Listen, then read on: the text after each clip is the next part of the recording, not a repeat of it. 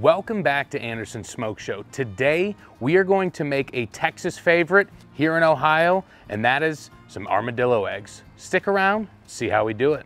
If you're new here, my name is Andrew, and I'm an engineer. So everything that you see today is gonna be precise and to the point so that you can recreate my recipes. Now let's get started with these armadillo eggs.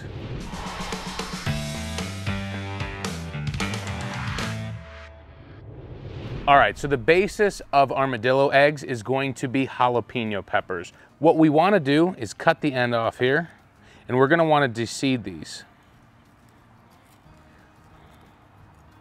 Sometimes you need to use a smaller knife, your finger, a potato peeler, things like that. We're just gonna work through these and get these all cleaned up.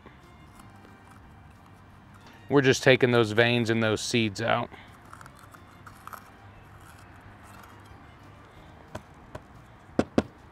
Just like that. And we're gonna go through and do that with the rest of these peppers.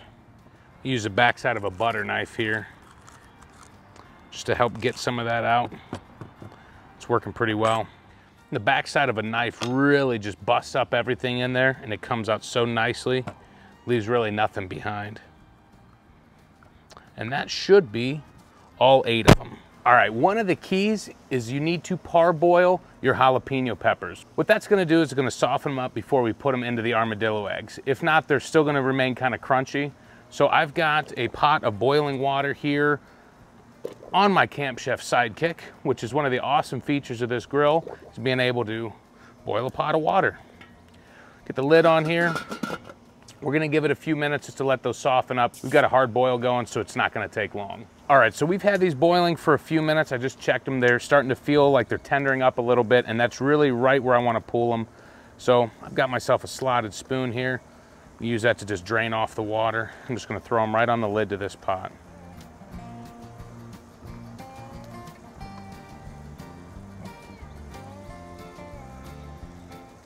All right, let's get these back over and finish preparing them. So once you've parboiled the jalapenos, get yourself some cream cheese and a spoon, and we're going to pack these full of cream cheese.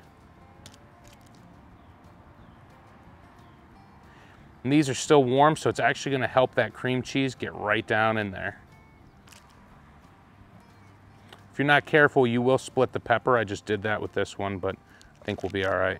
All right, let's construct these armadillo eggs. I've got a bowl here where we've got 50% ground pork and 50% mild sausage. We're gonna patty this up so that we can wrap it around those jalapenos. And I wanna take a chunk about the size of what I would make uh, one of my burgers with, maybe a little bit more. I'm gonna use the foil here and I'm gonna patty that up just like so. And I'm gonna take one of these jalapeno peppers and I want to make an egg shape around this jalapeno pepper. Need to thin this up just a little bit more.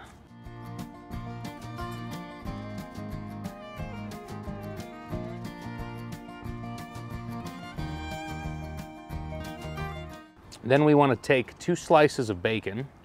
We're going to wrap it around the outside.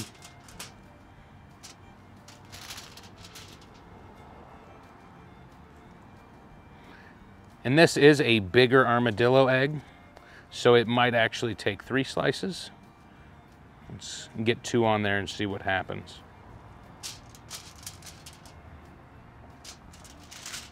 Yeah, I'm pretty sure it's gonna take three. That's fine though. We'll just wrap one around like this.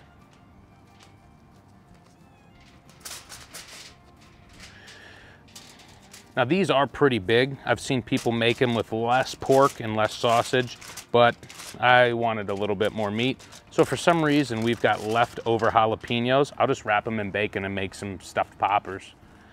That is an option that we've got. I'll save one of those small ones for that just in case.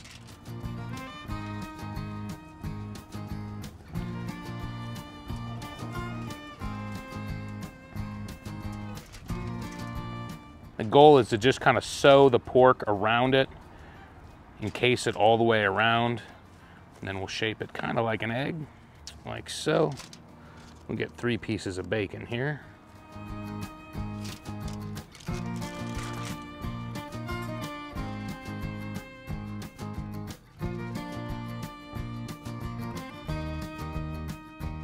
Give it a little tug, that'll help us cover more of the armadillo egg here. There, there we go. We got another one. And just so you know, you know, I use two pounds of ground pork and I use two pounds of ground uh, mild sausage. Uh, so I got four pounds of total ground meat, two packs of bacon, and eight jalapenos. And it looks like just the size that I'm making these, we're gonna get seven uh, armadillo eggs out of it, which is fine. I'm gonna make one jalapeno popper. That'll be my appetizer along the way. And I saved the little one for that. That's it. We've got seven armadillo eggs, one jalapeno popper. Let's get the grill fired up. All right, for these armadillo eggs, I'm gonna run this at 250 degrees. So I'm over here at my Camp Chef. I'm going to select the menu, set temp. We're gonna say 250 degrees. Smoke level 10. Startup procedure has begun. Now I've already got some of the cherry charwood pellets in there. That's a blend of cherry and charcoal. It's gonna go great with these armadillo eggs. Now it's time to open up the lid. All right, my Camp Chef Smoke Pro SG24 is up to 250 degrees. It's time to get these armadillo eggs onto the grill.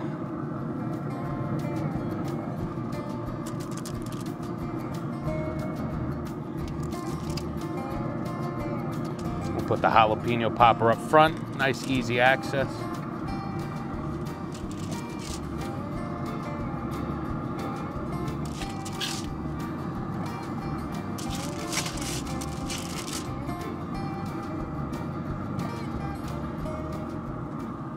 All right, let's get this lid closed. Now I almost forgot I wanted to use some of the Meat Church Honey Hog Hot Barbecue Rub on these. So let's get in here.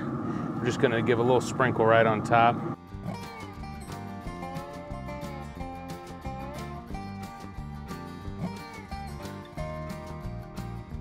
No harm, no foul. Just glad I remembered. Now for these armadillo eggs, we're looking for an internal temperature of 165 degrees. This is pork, so we do wanna make sure that it's at least cooked thoroughly.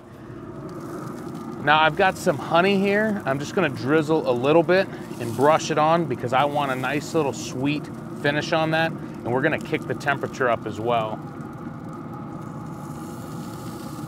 And I'm not doing much, just one stripe pretty much.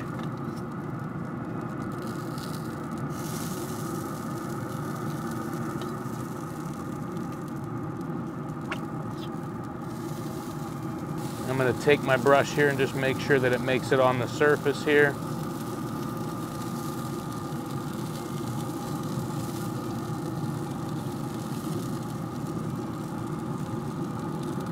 Now some people will take barbecue sauce and base it with that.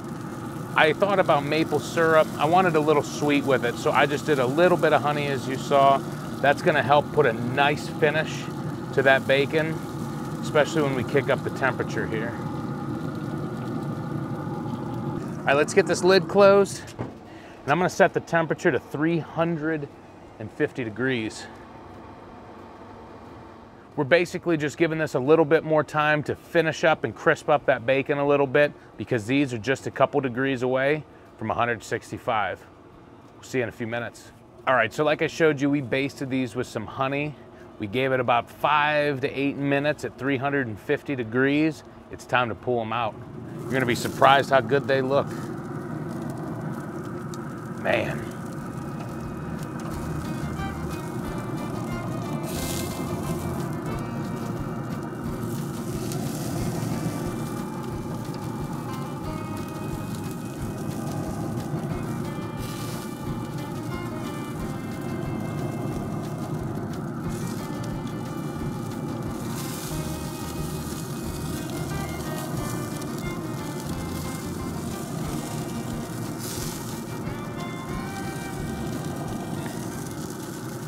And my little jalapeno popper. Let's get this thing shut. Get it turned off. We're gonna let these cool for a few minutes and we'll see you over at the table to give them a try. We let these armadillo eggs rest for about five minutes. It's time to give them a try. Now I'm gonna move a few of these out of the way.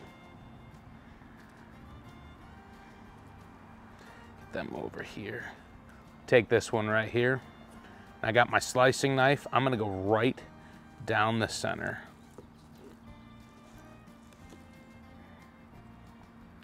Oh, would you look at that?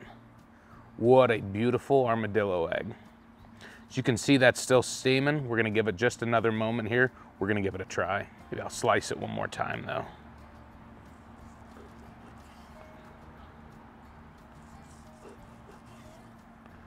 Oh yeah. That looks pretty dang good. What do you think? All right, we've given it a minute or two to cool down. I got this nice big chunk here. Got some jalapeno, some cream cheese, some bacon, got it all. Let's give it a try. I'm gonna be honest with you, I've never had these before, so this is my first reaction to an armadillo egg. That is delicious. That is, that is absolutely delicious. They know what they're doing down in Texas with these armadillo eggs. I will say though, that that little bit of honey that I put on there added a little, it added a different dynamic to it, and man, that's good. I, I gotta have another piece. I'm going for another center cut here because we know center cut's the best. Now that's some mighty fine eats.